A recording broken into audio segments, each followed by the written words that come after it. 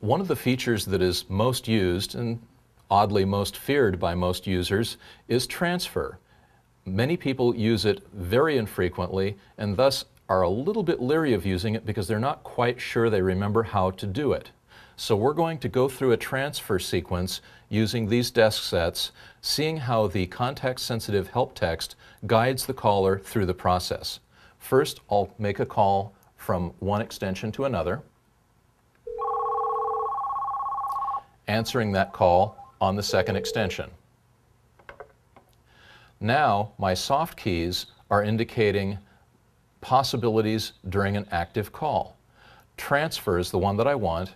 As soon as I push transfer, help text comes up telling me what to do next.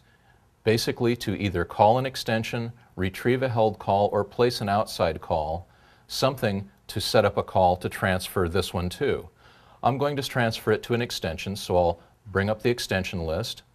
The extension that I want is on top uh, but the help text is telling me use up or down to scroll or use the dial pad for a quick search.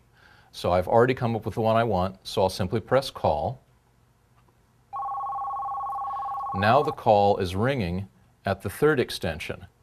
This extension will answer the call. Now I can go ahead and complete the transfer. You'll see on the second extension it says awaiting transfer and a soft key that says transfer. I'll press that. Now I have an indication that the call is transferred and the call is now active on the third extension.